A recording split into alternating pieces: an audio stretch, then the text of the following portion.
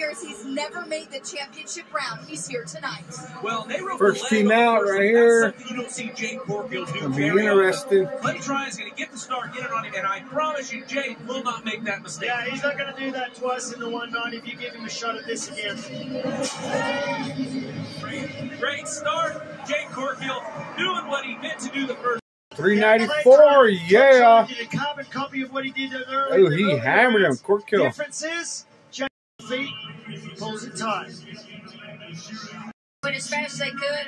394. It's going to be hard to beat, but man, this is a team to watch right Reigning world champs right here, guys? yeah. Kaleb Driggers, Junior Nogueira. Kaleb Drigger, a three-time American champion with three different team roping partners. Larry D, can they get it done? Absolutely, they can get it done. This is the best team of the decade right now.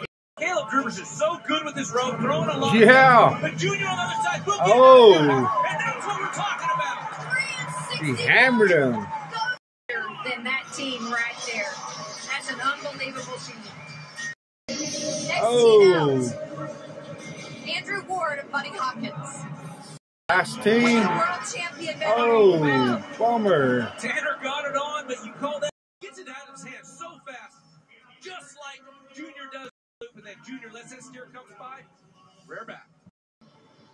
And those championships, they'll just keep racking them in. They've got a long career ahead